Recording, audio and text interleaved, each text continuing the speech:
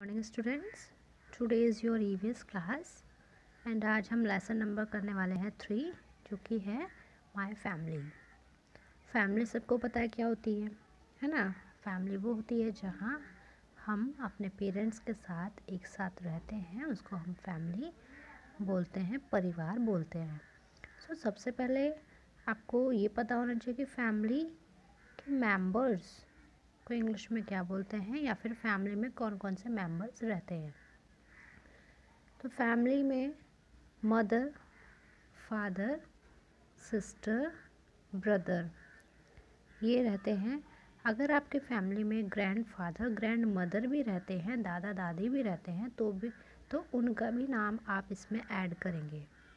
Okay ये normal था, इसलिए मैंने फ़ोर ही लिखे हैं। अगर आपकी, अगर आपके फैमिली में ग्रैंड फादर और ग्रैंड मदर भी आपके साथ रहते हैं तो इसमें आप उनको भी ऐड करेंगे। उनका नाम भी इसमें उनका नाम मीन्स ग्रैंड मदर और ग्रैंड फादर भी आप लिखेंगे। ओके अब हम फैमिली के बारे में थोड़ा और जानते हैं। फैमिली थ्री टाइप्स की होती है मीन्स तीन प्रकार की होती हैं फैमिलीज़ कौन कौन सी होती हैं? Small family large family and joint family small family एक वो फैमिली होती है जिसमें, ध्यान से सुनिएगा, जिसमें parents means mother and father और उनके दो बच्चे, है ना, एक या दो बच्चे उनके साथ रहते हैं। मीन्स जिस फैमिली में मदर फादर और उनके वन चाइल्ड या फिर टू चिल्ड्रन रहते हों, उस फैमिली को स्मॉल फैमिली मीन्स छोटी फैमिली कहते हैं। ओके लार्ज फैमिली क्या होती है? लार्ज फैमिली मीन्स बड़ी फैमिली बड़ी फैमिली में, बड़ी फैमिली में वो फैमिलीज़ आती हैं जिनमें पेरेंट्स मीन्स मम्मी पापा और उनके तीन से ज़्यादा बच्चे. ठीक है, अगर तीन से ज़्यादा बच्चे किसी फैमिली में रहते हैं अपने मम्मी पापा के साथ तो वो लार्ज फैमिली है और अगर अगर एक या दो बच्चा अपने पेरेंट्स के साथ एक एक फैमिली में रह रहे हैं तो वो स्मॉल फैमिली है। क्लियर है इतना? अगर एक या दो बच्चे हुए तो स्मॉल फैमिली होगी। अगर पेरेंट्स के साथ तीन से ज़्यादा बच्चे हुए तो लार्ज फैमिली होगी। अब है जॉइंट फैमिली। जॉइंट फैमिली एक ऐसी फैमिली है जिसमें ग्रैंड पेरेंट्स मीन्स दादा दादी, अंकल आंटी, मम्मी पापा और उनके बच्चे एक साथ रहते हैं।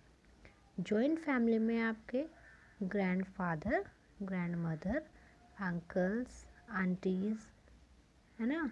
ये सब और मम्मी पापा मीन्स आपके मदर फादर आपके कज़न्स ये सब एक साथ रहेंगे। तो जॉइंट फैमिली हुई, जो ग्रैंड पेरेंट्स के साथ बहुत बड़ी सी फैमिली जिसको बोलते हैं ना वो जॉइंट फैमिली अब है कुछ क्वेश्चन आंसर्स हैं, इनको देखते हैं, इस लेसन को फिनिश कर लेते हैं आज।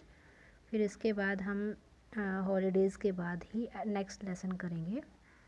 सो फ़र्स्ट क्वेश्चन है what are the three different types of families तीन डिफरेंट टाइप्स ऑफ़ फैमिलीज़ कौन कौन सी हैं? तो जैसा कि अभी हमने पढ़ा, तीन डिफरेंट टाइप्स की फैमिलीज़ कौन कौन सी है?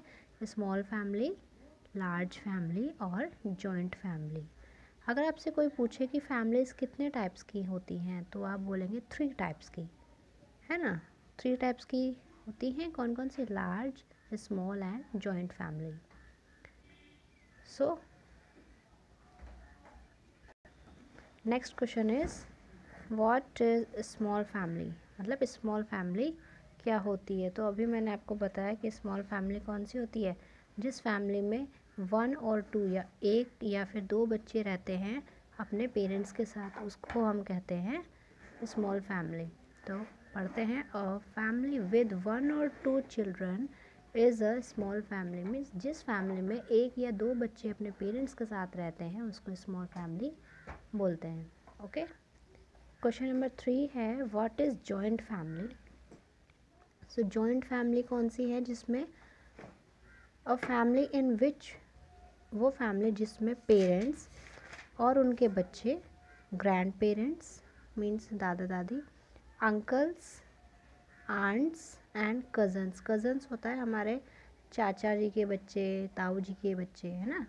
इनको हम कज़न्स बोलते हैं।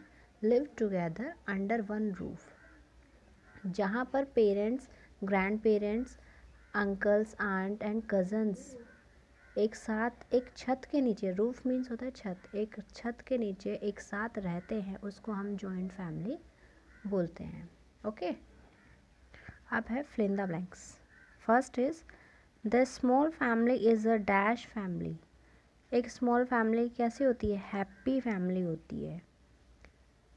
My mother's sister is my dash कि जो मेरी मम्मी की सिस्टर हैं, उनको हम क्या कहेंगे? उनको हम आंट बोलेंगे। थर्ड है my father's brother is my uncle कि जो मेरे पापा के भाई हैं, उनको हम क्या बोलेंगे? अंकल वो हमारे अंकल लगेंगे। My uncles dash are my cousins कि मेरे अंकल के बच्चे क्या है मेरे? कज़न्स हैं right mother dash food for us जो हमारी मदर है, वो हमारे लिए फ़ूड कुक करती है, बनाती है खाना। ओके तो दिस चैप्टर इज़ फिनिश ये चैप्टर फिनिश हो चुका है और इसको आप अपनी नोटबुक में कर लीजिएगा। ओके